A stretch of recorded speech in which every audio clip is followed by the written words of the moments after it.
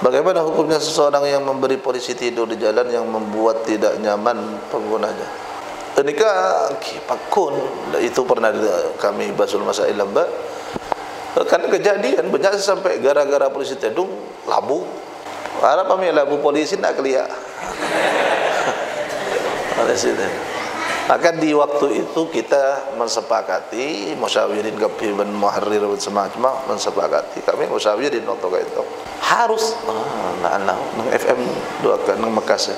Kalau ni memang dibutuhkan akan ibadah sekolah dan semacam kotu sesuai standar yang ada. Nang Indonesia nang Indonesia ni kah mun masuk aka seharusnya. Karena hak jalan ni kah hak lil lil marin ada orang-orang yang lewat. Tak boleh. Uh, ganggu apa pun sama macam mesempet tempat boleh uh, standar ni kan coba antar ke bandara. Kimun oning bandara. Bandara ni kan beda tan, ni kan nyaman benih polisi tedung tanda kejut bahasa malaitaan eh baca juga nya polisi dung tedungan aja